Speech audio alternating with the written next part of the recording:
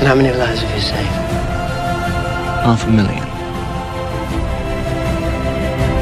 The population of King's Landing. First, I killed a pyromancer. And then drove my sword into his back. Is that what you tell yourself at night? You're a servant of justice. He said the same thing he'd been saying for hours.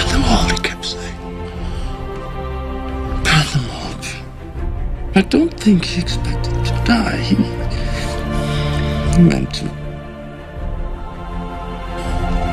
rise again, reborn as a dragon, turn his enemies to ash.